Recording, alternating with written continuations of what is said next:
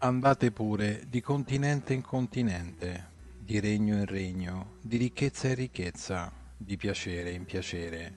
Non troverete la felicità che cercate. La terra e quanto contiene non possono appagare un'anima immortale più di quanto un pizzico di farina in bocca ad un affamato possa saziarlo.